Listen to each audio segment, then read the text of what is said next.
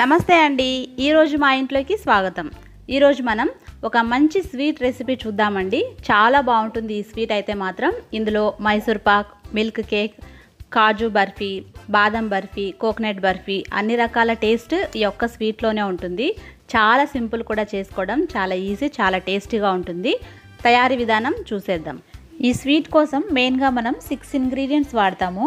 అవేంటివో ఇప్పుడు చూసేద్దాం. ఒక కప్పు శనగపిండి ఒక కప్పు ఎండు కొబ్బరి తురుము. మీరు కావాలంటే పచ్చి కొబ్బరి తురుము అయినా తీసుకోవచ్చు. ఒక కప్పు బాదం పప్పు జీడిపప్పు లైట్గా వేయించి చేసుకున్న పొడి ఒక కప్పు. రెండు కప్పులు పంచదార. ఒక కప్పు పాలు. కాసినవైనా తీసుకోవచ్చు లేదంటే పచ్చిపాలైనా వాడుకోవచ్చు. ఒక కప్పు నెయ్యి. సో ఇవన్నమాట మెయిన్ ఇంగ్రీడియంట్స్. ఇప్పుడు తయారీ విధానం చూసేద్దాం.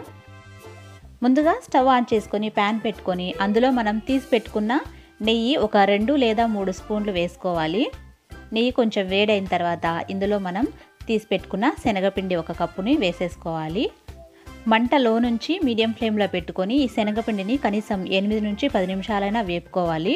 అప్పుడు మనకి శనగపిండి కొంచెం లైట్గా కలర్ చేంజ్ అయ్యి మంచి సువాసన కూడా వస్తుంది.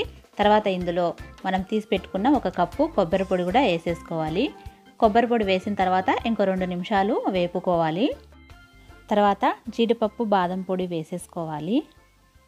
అంతా ఇంకొకసారి బాగా కలిపేసుకోవాలి. ఈ స్వీట్ చేసే ప్రాసెస్ మొత్తం హీట్లో నుంచి మీడియం ఫ్లేమ్లోనే పెట్టుకొని చేసుకోవాలి. అంత బాగా కలుసుకున్న తర్వాత ఒక కప్పు పాలు కూడా వేసేసి ఇంకొకసారి కలపండి. తర్వాత రెండు కప్పుల షుగర్ ఇందులో వేసేసేయండి.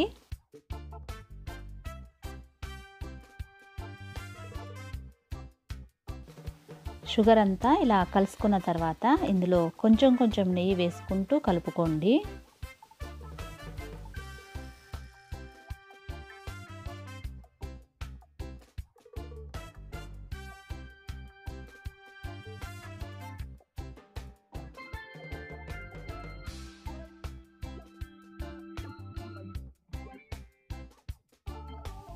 షుగర్ అంతా కూడా కరిగిపోయి కొంచెం దగ్గర పడనివ్వండి.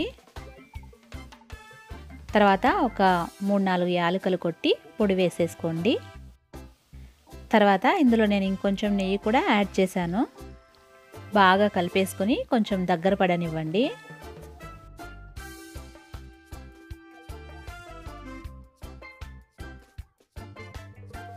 తర్వాత నేను ఒక ట్రేలో పార్చ్మెంట్ పేపర్ వేసి స్వీట్ని వేసేసి అంతా బాగా లెవెల్ చేసేస్తున్నాను ఇక్కడ.